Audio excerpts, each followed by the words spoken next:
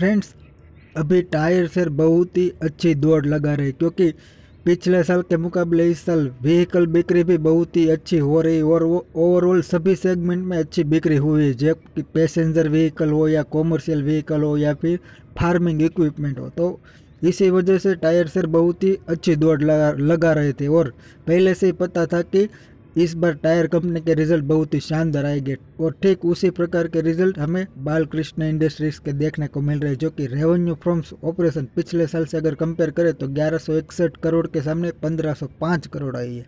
और total income देखें तो ग्यारह करोड़ जो पिछले साल थी, वहाँ से बढ़कर चौदह करोड़।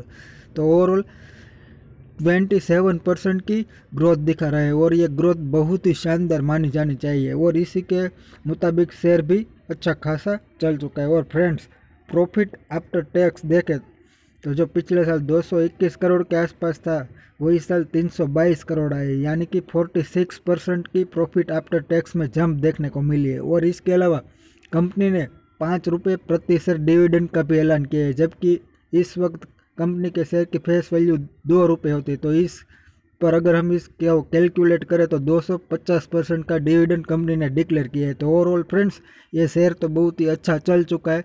देखते हैं कल इसका इम्पेक्ट इस शेयर पर कितना होता है, क्योंकि रिज़ल्ट बहुत ही शानदार दिखाई दे रहे हैं।